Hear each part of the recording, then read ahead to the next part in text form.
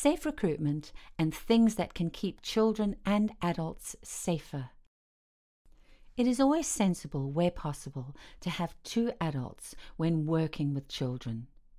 The second adult need not be a professional. For example, one could be a parent or chaperone. Sometimes this is not possible, and that's okay. If you're working alone with children, make sure other adults are aware of the situation and follow simple steps, like staying in an open environment and having a clear policy of not, for example, taking a lone child in your car. If you are working with children in a professional capacity, please help to ensure those who want to work with you are safe to work with children. In some countries, you can run background checks on adults who want to work with children. If that system is in place, you must do that.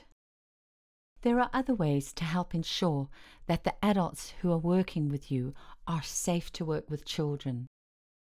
At an interview or whilst chatting to them, ask questions about their attitude towards children and their knowledge of how to keep children safe. You can also make sure the person is given an induction where you can steer them in good practice to keep children safe, appropriate behavior, and how to deal with a safeguarding concern. Work with other agencies and families where it is appropriate and safe. If you have a concern, it is important to share these with people that can help. Remember the stories we shared where professionals and others failed to pass on concerns.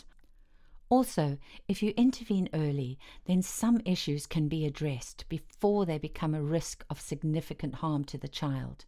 Working together can be the key to making a difference.